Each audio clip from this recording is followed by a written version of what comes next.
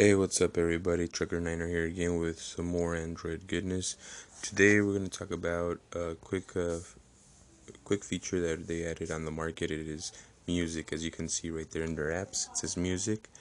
Now, what you can do now is download music per song or per album through the market.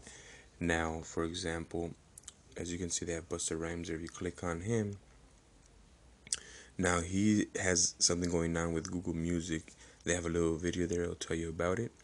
And mine says listen already because these uh, these two tracks are available for free. He's giving them out for free. There's an explicit version and a edited version. So check them out and pick them up. They're pretty cool. He has a contest going on now on now. So uh, check out the video and uh, and you'll find out. But yeah, they the market now has music included. So now it is like um iTunes type of deal. So if you go and download this one right here, Google Music, you download that. All the music you download from the market will be in here, all of it. Uh, even the music that okay so if you go into your computer your desktop you go into google music through that website you sign in with your gmail account and you can actually sync all your music that you have on your computer onto google music. Once you have that on on under um, uh, under uh, once it's synced now you can listen to all the music you have in your computer through any device as long as you download Google Music. So yeah, it's like an iPod, iTunes type of deal. So now Google has that available for you guys for all you Android fans out there. So let's check it out. Go to music, and that's what they have going on. There's a music page, see new releases.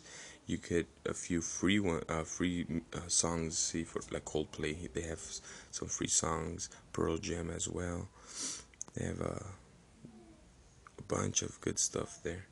So we go to top albums. They sell albums, top songs. So for example, if you're looking for a for a song, you want to get that album, it's fourteen ninety nine. And now if you actually push play on there, I don't know if it'll, it'll if you could. You yes so you could listen to a little preview of it so yeah guys check it out it's it's out in the market now uh, the google music it's out of beta so you guys could pick it up sync it to your computer get all the songs on there and then uh, go onto the market and start picking out some songs some free songs.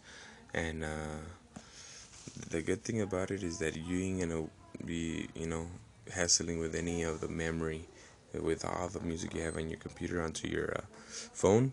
No memory loss of course. So check it out guys. Let me know what you guys think. If you guys have any questions if you guys can't figure it out uh, how to do it let me know and i'll walk you through it. All right guys peace